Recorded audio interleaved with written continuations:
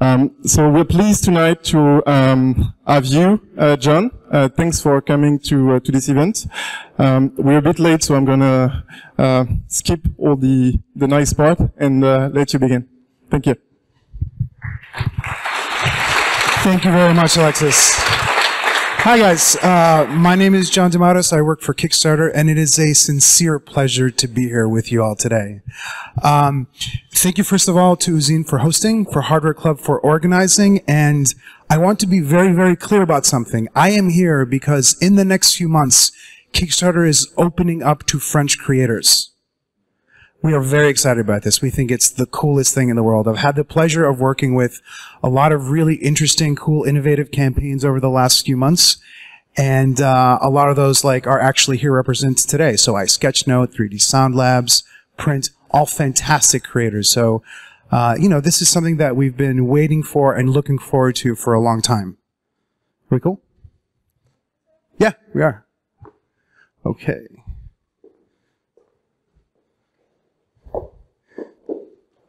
So, this is me. Uh, I head up the tech and design uh, categories with uh, two great colleagues. There's three of us, me, Nick, and Julio. And this is the fundamental premise that drives everything on our site. We exist as a platform for people to create and share things with other people. Okay.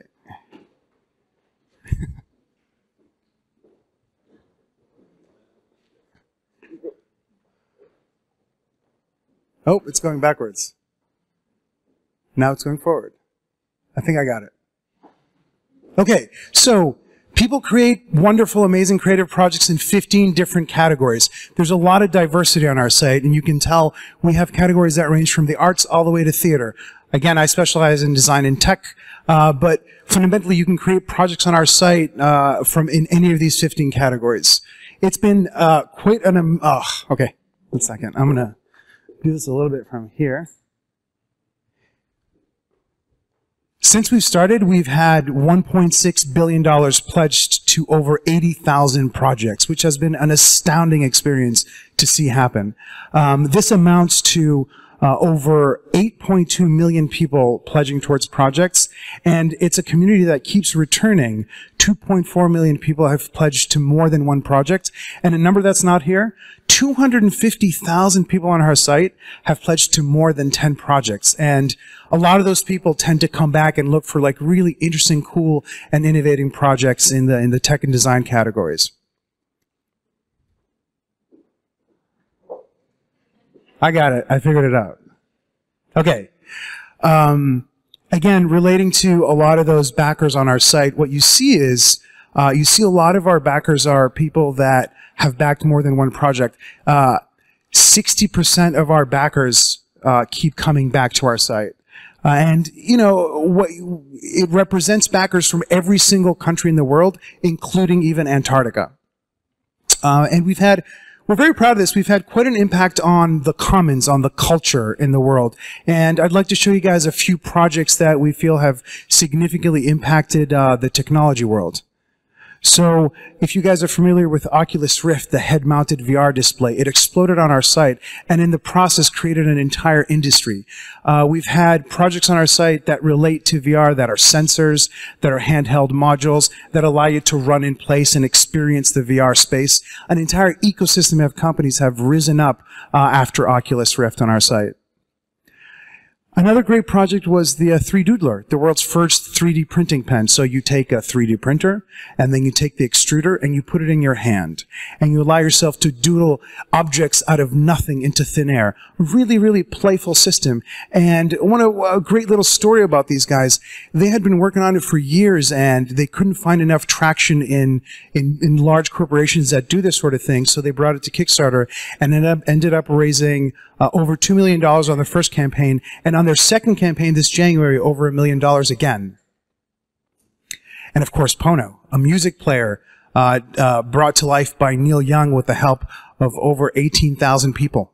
Um, Neil Young, what did he really want as a musician? He just wanted to listen to music that he felt like really represented what it should sound like. And it turns out there were 18,000 people in the world that felt the same way.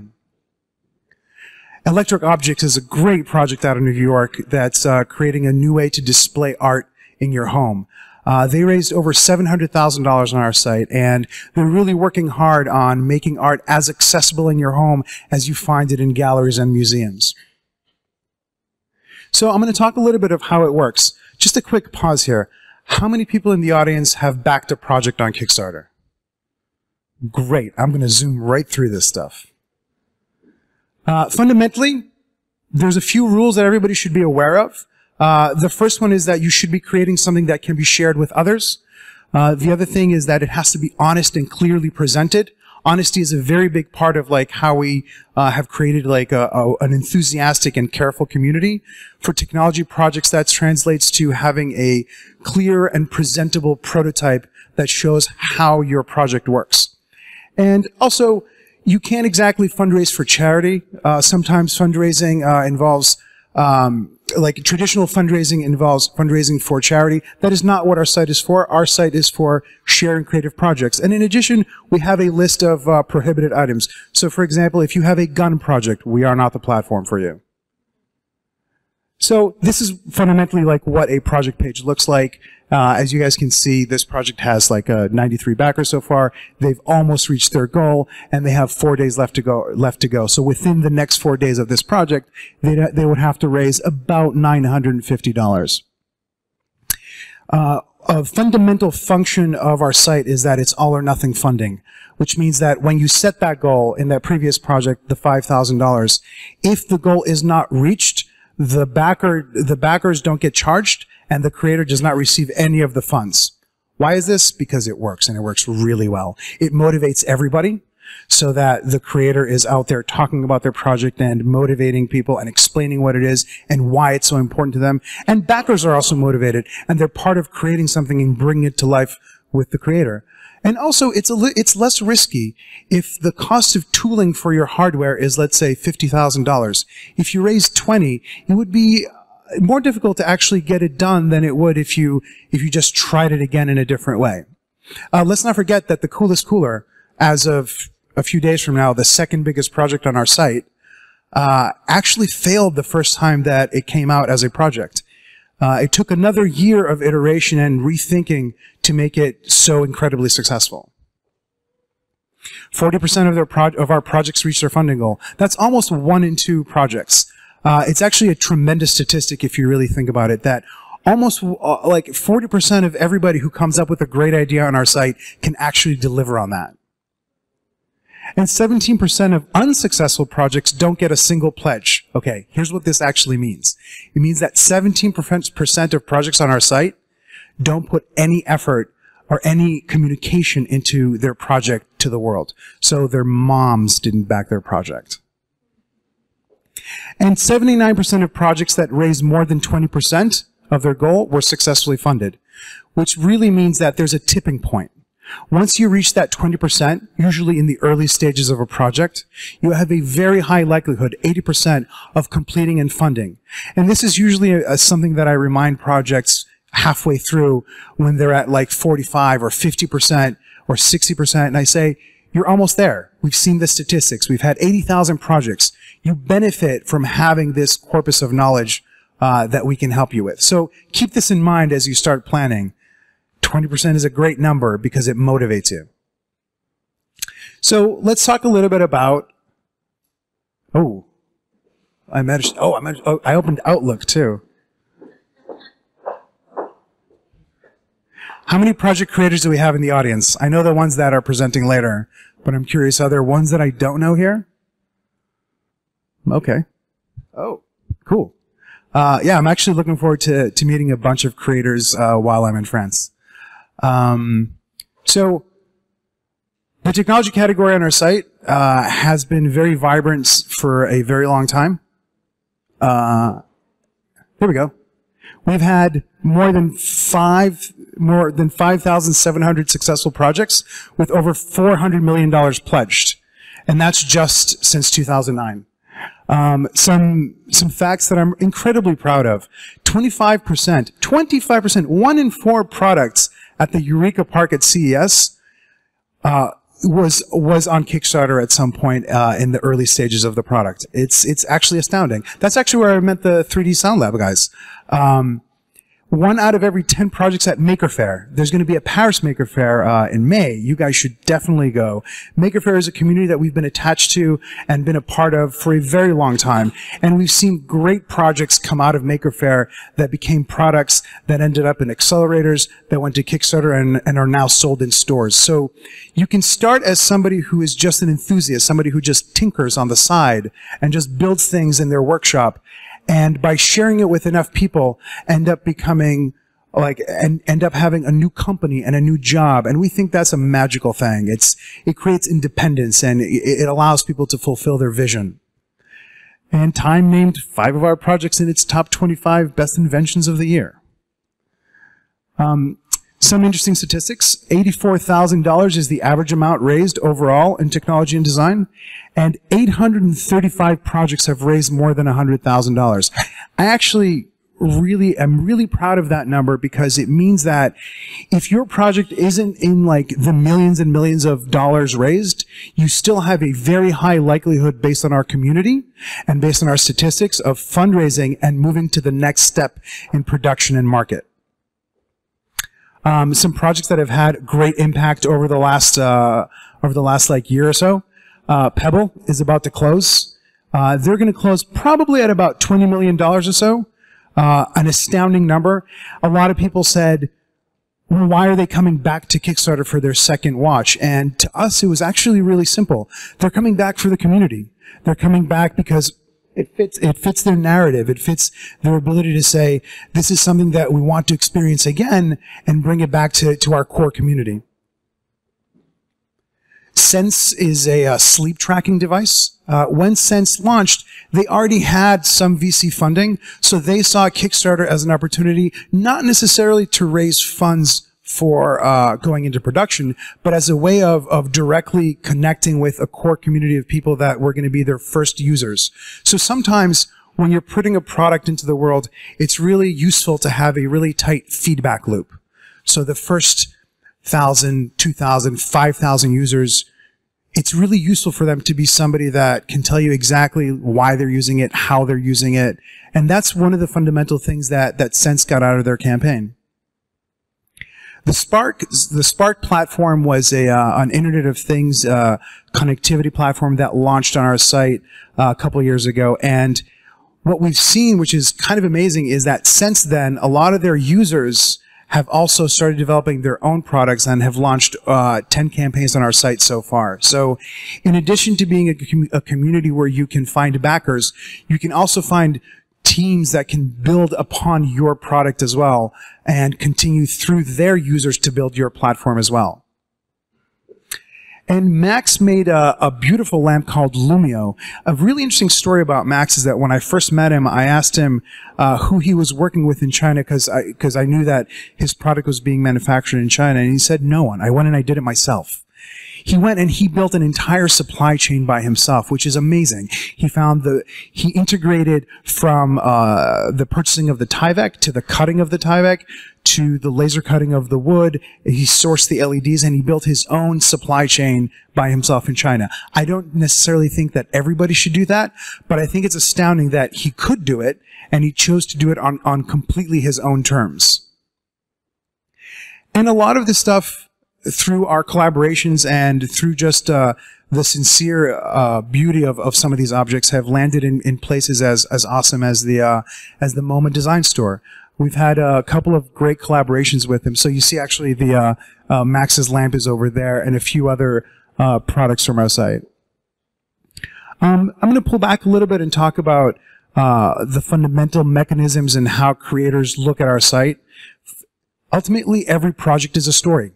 You go out there, you make something, you tell people how you made it, why you made it, and you bring along everybody for the journey. What it looks like on, on just on our website for your project page is that you have the project video, which acts as an invitation. You're basically saying, come in and take a look at what I've made. You have the rewards, which is what the, the monetary exchange is really based on. Uh, you might have a $25 award, a $100 award, and in exchange for the funds that backers give you. You give them something interesting. In our world, in product and tech and design, uh, it's actually a little bit easier because ultimately what we are creating is something tangible, something that you can hold in your hands. So that's usually the core reward. And we also have project updates, which is uh, how you continue to engage and communicate with your backers during the campaign as well as after the campaign. Uh, a great story. I once had a creator that launched his campaign four years ago. Two years after he launched his campaign, he put his product up for sale on Amazon. It's a it's an Arduino controlled flashlight. So he put it for sale up, up on Amazon and he went to back to his original backers and he sent them an update. And he said, I'm putting it on Amazon. You guys have already used it. If anybody wants to write a review, that would be great. Within a day, he had 40, four, either four or five star reviews, which is extremely powerful. That two years later, all these people remembered who he, uh, who he was, remembered that they liked using this product, and they immediately wrote these reviews. So he immediately had a presence on Amazon from zero. The project video should be short, it should be shareable, it should be personal. Sometimes you'll hear people say that, oh, you absolutely have to spend a large amount of money on the video. Sometimes that works. It's not necessary. We want to encourage and emphasize that independence and doing things on your terms is probably the greatest thing that you can do for a project video. Uh, a favorite of mine is uh, Makey Makey, which is a small little board that allows you to turn anything into a keyboard. If you guys watch the project video, it's the most lo-fi thing in the world because you can make a great video with just an iPhone, and that's what that's what the creators of Makey Makey did. And they raised over six hundred thousand dollars, and they're an independent company that's still going strong. The project rewards, again, as I said before, a copy of the thing, a creative process, something that you can share with the experience. Uh, one of my favorite rewards uh, that I ever received was a, a, piece of an early prototype. So it was uh, the project was uh, was for a, a, musical keyboard, and they sent me a spring from one of their very first prototypes, which I think is like a fun little thing to have. It's a great story that you can tell people that this isn't just a spring. This is a spring from an early prototype of a device that was funded on Kickstarter that I helped create some stats as you're thinking about the rewards for your projects. $25 is the most common pledge. That's an easy way for people to pledge towards projects. Uh, five to seven reward tiers are ideal. Uh, on the top end, we top out at a at a maximum of $10,000 for a reward. And that's the one where you usually see something, you know, a little bit ridiculous, a little bit amazing. Come and hang out with us in San Francisco. We'll give you a tour of the Bay Area and our factory is one that we see often. I mean, you guys live in France. If you offered the same thing, I think a lot of people would really love that. And also, $100 is the tier that generates the most money. So, uh, as you're thinking about how to structure your campaign to optimize for raising your entire goal, keep in mind that $100 is an optimum price point. The project updates provide a very crucial and important function. They allow you to share really important moments. This is from Reading Rainbow. Uh, Reading Rainbow is a television was a television show in the United States for kids to learn how to read, and they relaunched it as a Kickstarter campaign, and it it funded like I think within the first day, and the the creator of the of the of the project is uh, is a, like a famous celebrity. He used to be in Star Trek, and he made like a really heartfelt video update thanking everybody, just like just really normal. Just took out his iPhone and recorded it. That's a great thing to be able to share with people. And you know, you can also do things like update people during the campaign. So, for example, on the one on the right, it was from somebody who was going to be at the Maker Faire, letting his backers know while the project was live that if they wanted to come and demo uh, the device that he would be available and in their vicinity. And sometimes you want to be able to update that you might have new rewards. So this is a project in which uh, Gloria Steinem uh, made a T-shirt for the project, and it happened during the campaign, so it was a new reward that they wanted to let know, backers know about. And sometimes you want to let people know about things as they occur after the campaign. This is from Kano, a, uh, a Raspberry Pi based computer kit, uh, when they were ready to ship this is how they told people that, that it was finally happening. So let's talk a little bit about backers. Backers are the people that, uh, you know, they provide money towards your project. They ask you questions. They're the first recipients and users of, of your product. I know that it's crowdfunding, but think of it more as a community. Think of it more as an extended family. A group of people that you care about as much as they care about you. That's Thinking about backers in that way will ultimately lead you to a better design and lead you to a better relationship uh, with your first users. And I implore you guys uh, to check out our creator handbook. A lot of the things that I've talked about, uh, you'll find a little tips and little ideas uh, about how to approach these things there. There's a lot of wealth of information. And beyond that, uh, if you ever want to just search about Kickstarter, you'll find that a lot of creators have spent a lot of time writing blog posts, uh, even books and PDFs about their experiences and advice on how to do things. Uh, my email address is john@kickstarter.com. You're all welcome to email me. I will answer emails probably at midnight or three in the morning. And I'm Dematashe on Twitter. Uh, thank you all for having me. I'm open to any questions that you guys have.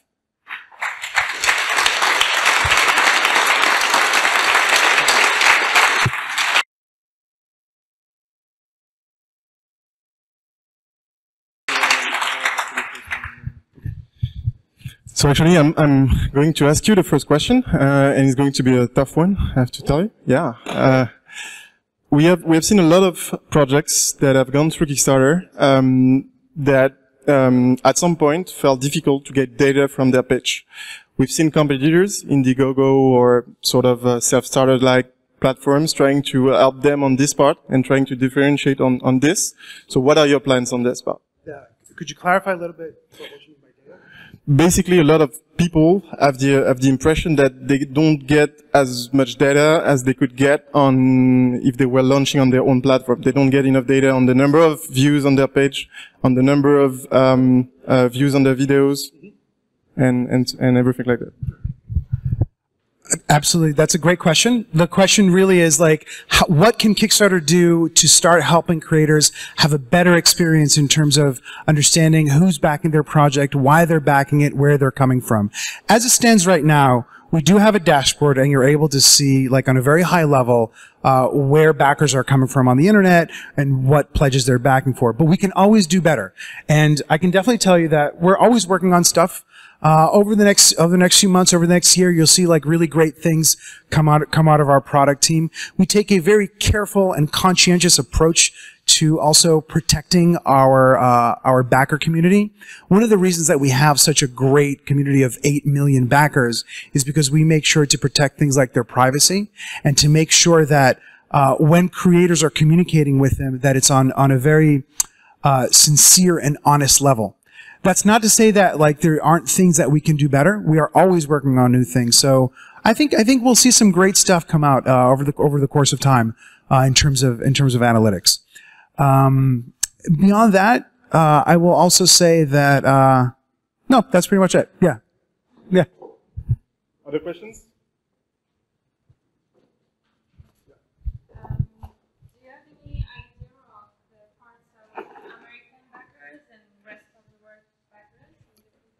I do. Um, on wait, on what kind of projects? It actually okay. Yes. Over time, as projects get bigger, uh, what ends up happening is as they get a lot of public attention, our platform, because it's a global platform, the split starts to look like a 50-50 split. It tends towards that. So uh, it'll be for American projects, it tends to be 50% coming from the US and 50% coming from the, from the rest of the world. For French projects, I think that you'll see within the rest of the world a much bigger percentage come from France. I think that's what you would expect. Uh, yes, sir. I don't have an exact date. It's within the next few months.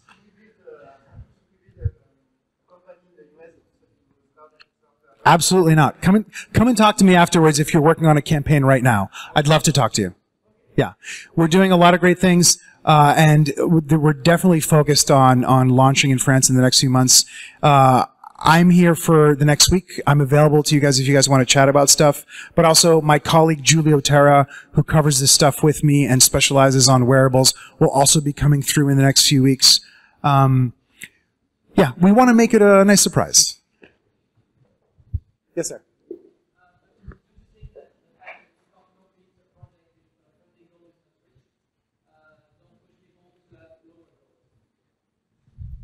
So that's that's an interesting question. The question was, um, is there a, like a, a motivation or like a motivation to lower your goal in order to be able to reach it? That's it's something that is definitely possible. However, in the long run, uh, the best, smartest, and most responsible creators are the ones that realize that that's uh, that's not necessarily something that's going to help you, uh, because ultimately, money is something that you spend, and what you're left with after you spend it is either tooling, you're left with like fundamental infrastructure that you can use to uh, build your products. And you want to have the best products possible. So you always want to make sure that you're setting the goal at a reasonable amount that's really going to help you excel. Yes, sir.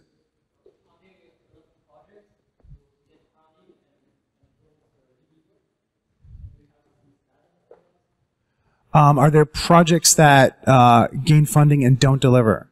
This is definitely something that uh, we think about and we look at. Uh, it's something that like we care about a lot. In the aggregate, uh, projects deliver. I think you'll you'll definitely meet a lot of people here that are working earnestly on uh, on delivering on their own projects. Uh, I don't have stats that I can share with you, but I can tell you that it's definitely something that like we think about a lot. And in the aggregate, uh, we like to encourage an honest and clear relationship between project creators and backers.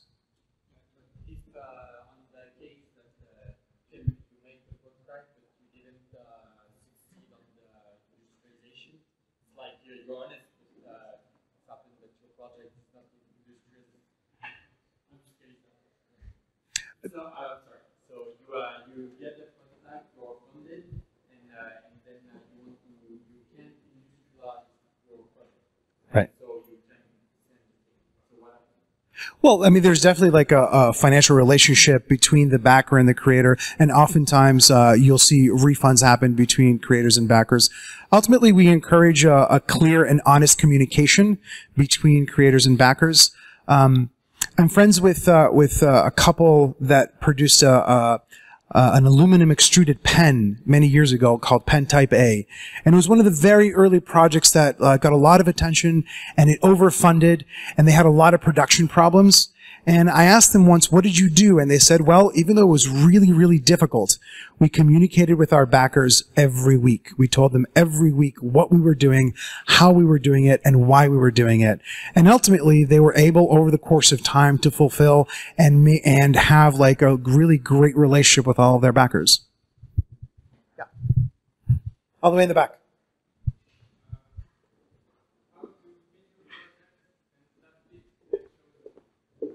How do staff pick projects get chosen? Well, um, it's definitely something that uh, I mean I'm involved in that. Uh, it's something that uh, a large group of people at the office think about and talk about. We look at thousands of projects every day, and we try to find ones that are interesting, that have a lot of really great work that have gone into them, that share our values. When I said at the beginning that that we're a platform for for sharing your work with other people, that that's the best way to make sure that it's staff picked uh, you know, it starts with like really basic things like making sure that you spent enough time to like have really great documentation, really great pictures of your project, uh, really well written text that describes it in a in a in an understandable way, uh, and ultimately it comes down to making some tough decisions to make sure that uh, great projects are shown globally uh, to uh, on Kickstarter. Number one, number two.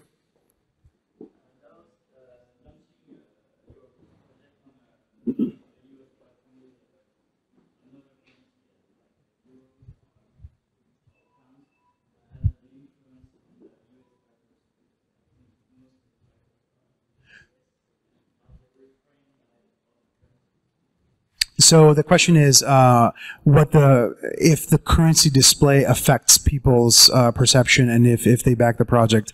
And the truth is, we've seen we've been actually open in the UK for years now. And we've had huge projects come out of the UK, and theirs is displayed in sterling pound. Uh, I actually feel that uh, when we launch in Europe, uh, the euro is so close to parity with the dollar, and there's such a really good understanding of what the euro is that I don't think it's actually going to affect it uh, to that extent. Uh, but there's, you know, we're thinking about this issue quite a bit. I think that there's some interesting things that we can do there. Uh, the gentleman, and then the gentleman. Thank you. Yes, sir. when you are working uh, on the hardware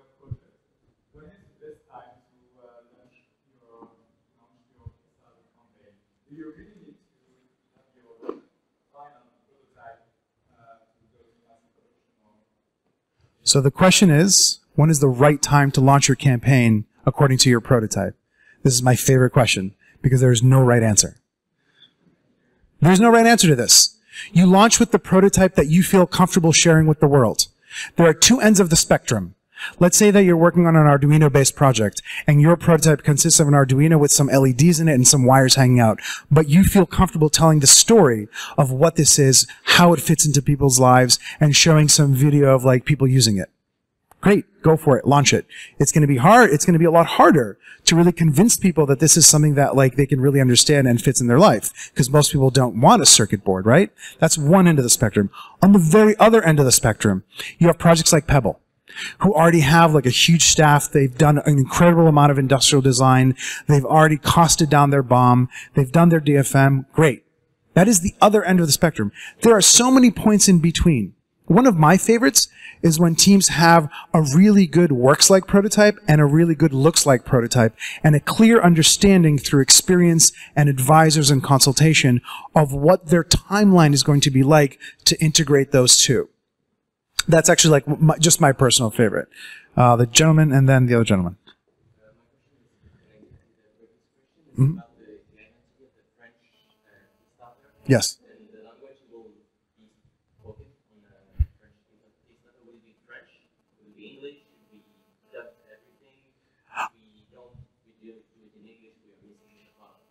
Of course. This is definitely something that we're thinking about. Um, I don't know the exact plans of like how we're going to to deploy this, but uh, it's definitely something that like we know that like we have to consider in terms of like our international launches. We want you to be able to appeal equally to American creator, to American backers, and to French backers, and to global backers as well.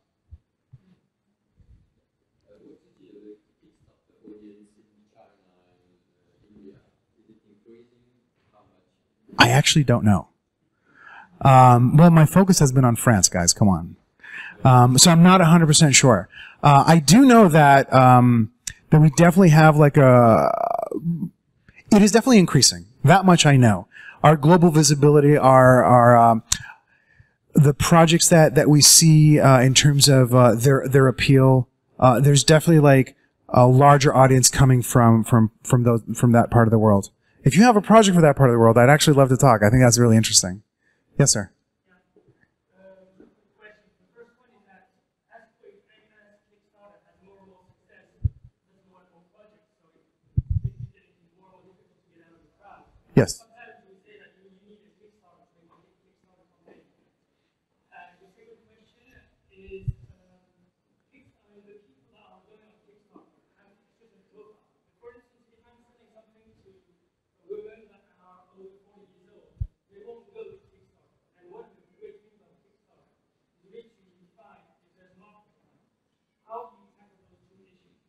Both of those questions are related.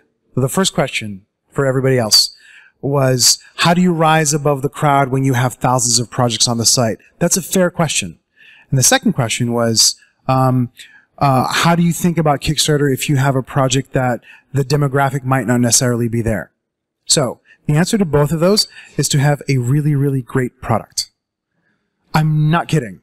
Because both of those, on the first one, you will rise up if you have a great product. People will share it. People will tell each other about it. Take a look at Prynt. There was no way that people were not going to notice Prynt. It's too awesome. People want that experience. People, like older, older generations remember it and they say, oh wow, it's like Polaroid. And younger generations say, wait, that's a cool thing that I want to do with my friends because I like taking selfies. So both of those things, right? So there was no chance that they wouldn't rise up. It's because they took a lot of time developing a great product. Uh, and that will always like, that will always be the core. Now there's a, there's a, there's an asterisk there. There's a side note, which is great documentation and a lot of documentation. You take a lot of pictures of whatever you're working on from a lot of different angles that are at high quality and you share them on social media with press on your website with, uh, on your website with updates during the campaign. The second question. We're fundamentally a neutral platform. If you feel that an audience isn't there, bring it. They will find it and they will have no hesitation of backing it. Um, I think personally, and I think personally that uh, our fashion category, our apparel category, is very, very nascent. It's It's still growing. Uh, it, we haven't even begin, begun to see the great stuff that's going to come in the fashion category. We have seen half million dollar projects. We've seen uh, seven hundred thousand dollar projects in things like jeans and shirts, but but wait until you start to see like a lot more uh, innovative and cool things happen in that category. You will see 40 year old women backing projects and saying, Yes, I've always wanted that thing. Let's make it happen. And I can have it in six months. That's awesome. How am I doing with time? We're good. We're good? Oh, awesome. Thank you very much, guys.